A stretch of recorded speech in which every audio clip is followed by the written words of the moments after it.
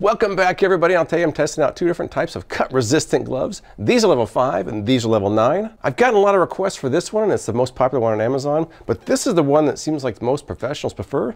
So let's get to the bottom of that in today's video.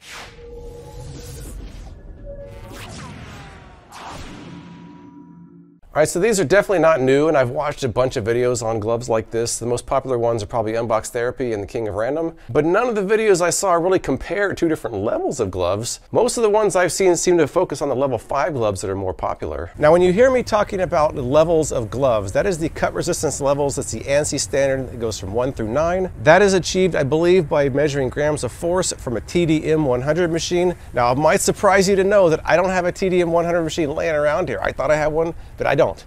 So it won't be that scientific, but I will do my best. I should also warn that my setup for this video before my actual test is significantly longer than other videos I've done. Usually I jump right into it. This one's gonna require some steps before I get started. As usual, I've got chapters below, so if you don't wanna see all the preliminary stuff, you can jump right to the good stuff and check it out. But let's first take a closer look at these gloves. These are the NoCry gloves. I paid $11.49 for them. They are currently a number one bestseller on Amazon with over 34,000 ratings. They offer level 5 cut resistance. The fabric is 100% food safe, machine washable, snug fit, feels like a second skin. Good for kitchen, woodworking, carving, and more. Four times stronger than leather. And over here we've got the Schwer.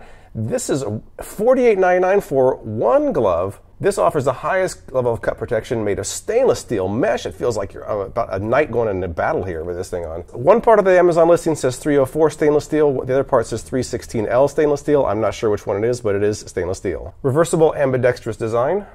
Doesn't break and shed metal. Rust proof, anti corrosion. Good for kitchen, handling goods, glasswork, and more. 10 times stronger than leather. You'll have to excuse my voice in this video. I, am just getting over being sick for about a week. I feel better, I just don't, I don't sound better. But while I was sick and planning for this video, I watched as many videos as I could in this subject.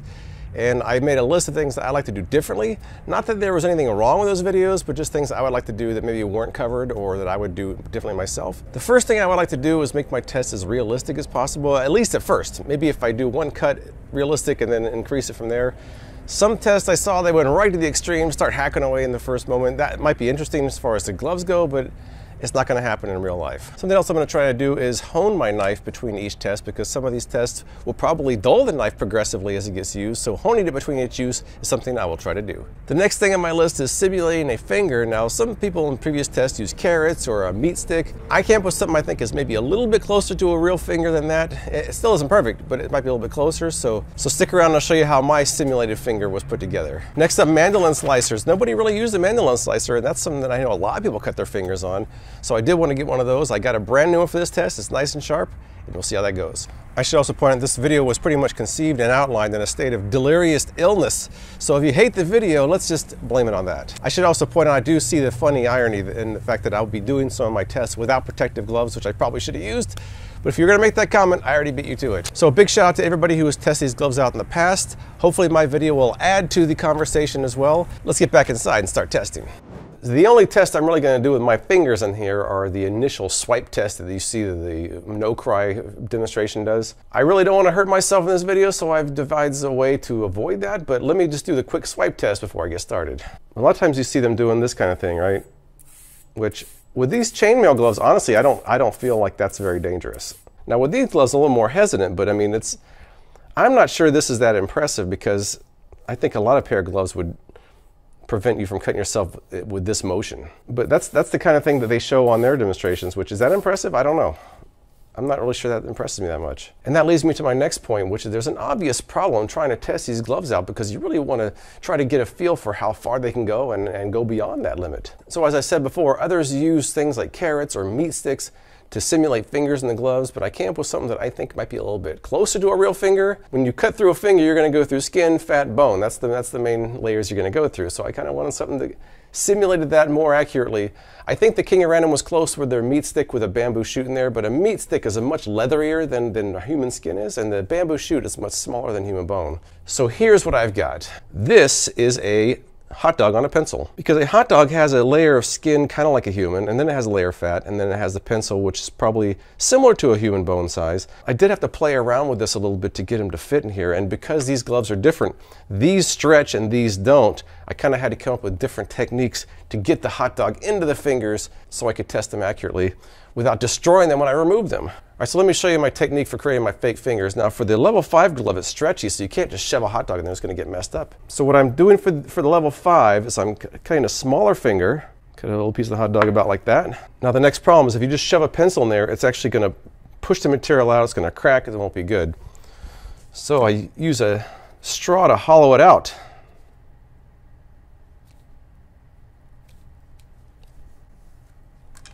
So now we can stick a pencil right in there without damaging the outside. I'm going to cut this pencil down to a little bit longer than the finger itself. That way I can grab onto it easier. All right, so there's one finger for the level 5 glove. All I have to do is cut a little bit off the edges, a couple edges of this one. You know, while I'm cutting these, I'm going to wear this, this glove. Might, might as well. I'm not testing it yet, but I'm going to do it just in case. All right, so once I've trimmed the sides down, I've got my skin here, and it will fit in this tube, which will allow me to insert in these fingers. It seems like a lot, but I think that the results will give us much closer to a real finger when I'm testing these things out.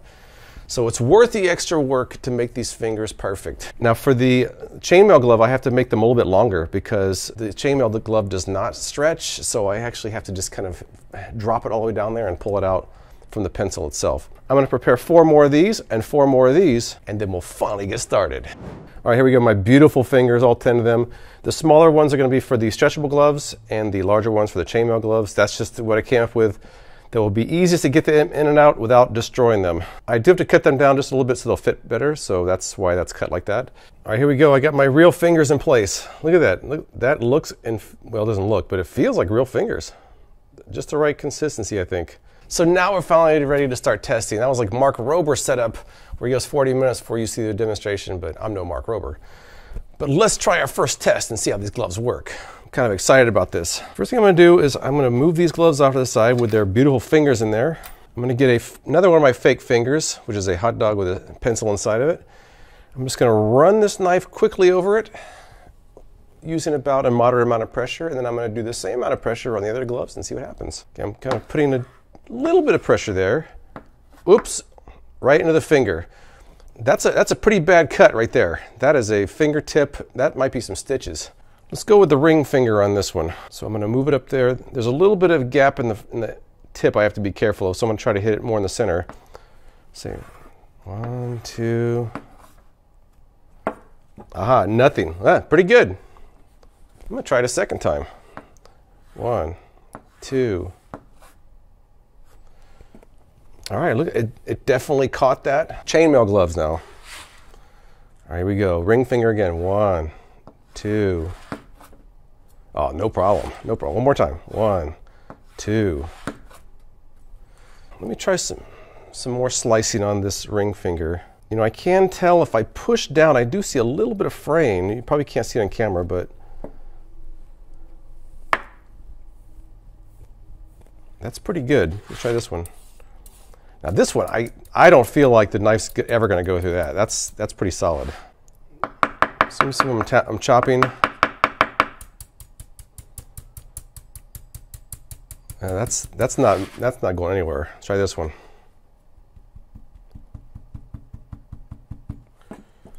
Now the King of Random did a, a carrot chopping test. I want to do the same thing with both gloves and see how they hold up. They were doing a chop like this. Hiya. Hiya. What happens if we do a hiya with the fake finger there? fake finger is uh, gonna need some surgery. Let's try the uh, level 5 gloves with the thumb. Oh, it stopped it. It definitely st it stopped it. Look at this. It definitely stopped it. Compared to the, the hot dog, that was pretty good. Let's try the thumb on the level 9 now. Oh, yeah, that was didn't even make a dent, nothing there. So far, I'm very impressed by both pairs of gloves.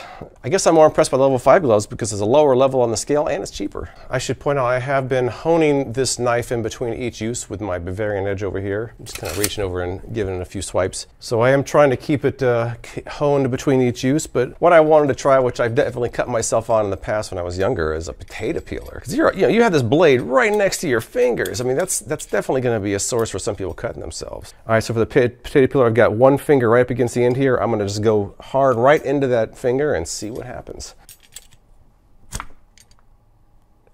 Oh, I hit it. Let me try one more time. That's, that's how it landed, just like that. And it didn't, hey, it didn't, look at it, nothing. The level fives have brought their A game to this competition, I must say. Do we even need to test the chainmail? You know it's going to be okay, but let's try it on anyways. I'm literally peeling onto the finger. Nothing at all. These, these chainmail are no joke. I mean, that's why they had these in the dark ages because this is, I don't know if it's stab proof, but it certainly is cut proof. Let me try that, that same technique with the level 5 again. Just peeling right onto it. I'm just going to pick the pinky finger here.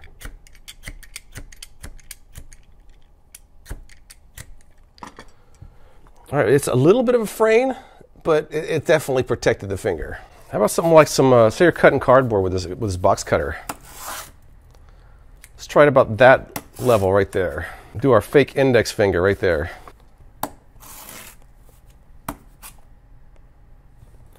Try that one more time. It kind of, it kind of slipped.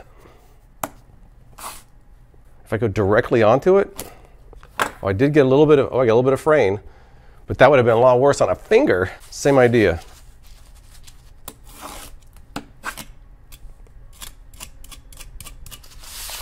Absolutely nothing. So here's one case where I did get a little bit of damage to the level 5 glove, no damage to the chainmail whatsoever. Let's try our, our hot dog finger and see how that look, looks in the same test. Oh, you got some stitches. You got some stitches. One thing I really haven't seen a lot of is how does a serrated knife do with these types of glue? I don't know. you would think that it would tug the material, but, but I'm not sure. I'm just gonna just cut something randomly here. I'm gonna try the more extreme part of the edge. We'll saw with that, and then saw with that. Look. All it really did was discolor. It didn't really get through it too much. Chainmail time.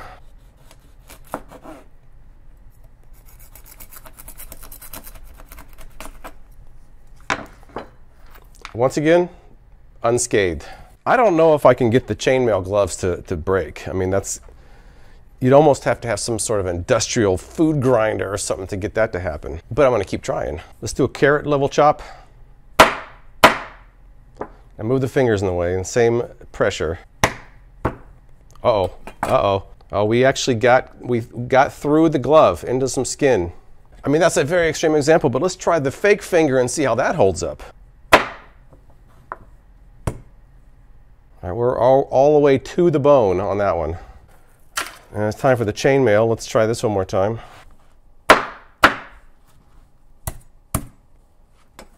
Well, look at this. Hot dog actually smashed through the chainmail, but the chainmail itself did not break. So that would hurt, but it would save your finger. So in that case, with no glove, you'd probably be uh, going to the hospital. With a level 5 glove, you'd probably have a cut. With a chainmail, you'd probably have a little bruise. Let's try a mandolin slicer, shall we? Most mandolin slicers have a, a, cover, but let's say you don't want to use that, you want to use a glove instead. This is an OXO mandolin slicer, very sharp. Look at this. I'm barely even touching it and right through there. It's extremely sharp. Let's try running some of these fingers over that blade. Oh, wow. Let's see, we, it felt like the blade went into the glove, but I don't see any kind of a perforation. Let me try again. So let's see, we got potato, gently slides through and it cut it off. Finger, it's not cutting it. All right, it's, uh, it's protecting it. The chainmail, I'm not really worried about that. Let's see, the chainmail, nothing's gonna happen to that chainmail.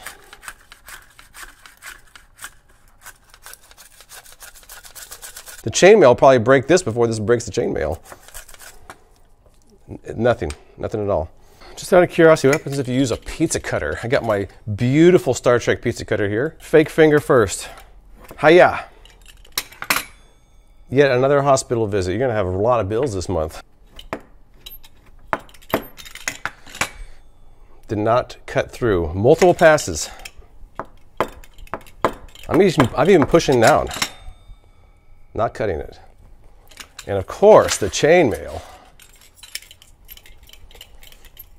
Too easy.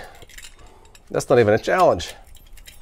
I don't know if I can cut through the chainmail, but let me see how easy it is to cut through the level 5. I can get through these if I try hard enough. They, even the instructions say they're not cut proof, they're cut resistant. I could definitely get through them. If I try hard enough, I can definitely get through it. These I, I don't think I could.